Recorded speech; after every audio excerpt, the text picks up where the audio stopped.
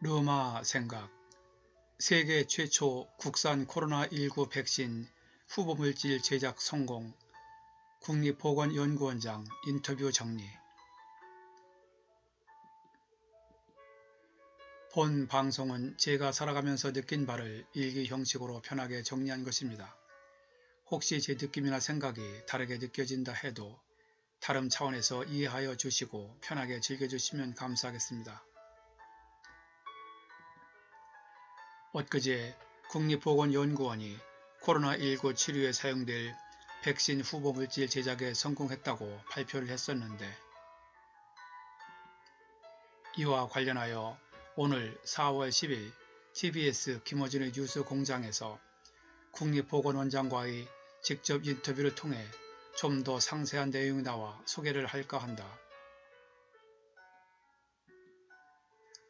이번에 제작한 후보 물질이란 V형은 코로나 바이러스인데 그 안에 있는 유전 물질은 다른 바이러스나 감염 물질을 넣어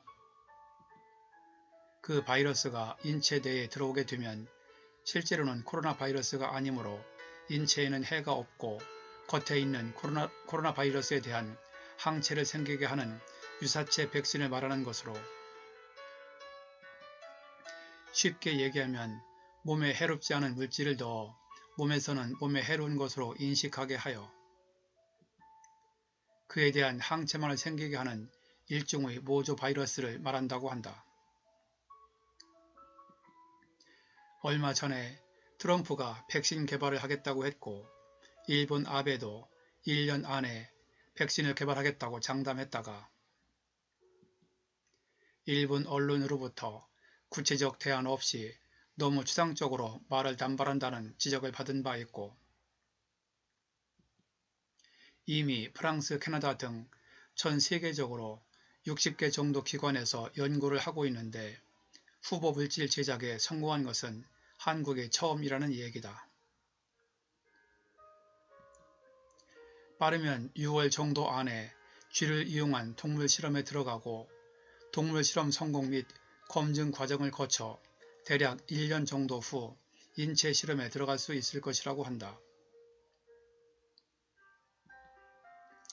지난 2월 세계보건기구 WHO 총장이 향후 18개월이면 백신이든 치료제이든 개발하겠다는 목표를 세웠다고 하는데 코로나19 발생 이후 처음에는 한국이 중국 다음으로 확진자가 많이 발생하여 다른 나라들로부터 입국 금지를 당하던 상황에서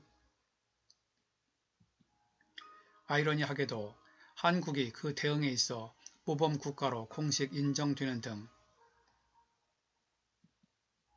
갈수록 세계적 관심을 끌고 있는 가운데 이번의 코로나19 백신 후보물질 최초 제작은 계속 이어지는 반가운 소식이다.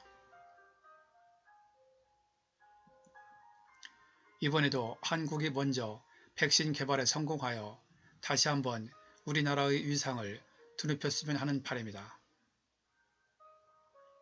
편안한 시간 보내세요.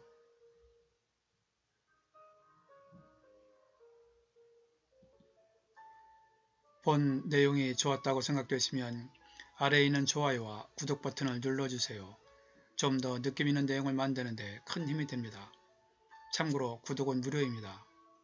끝까지 봐주셔서 감사합니다. 그럼 다음에 또 뵙죠.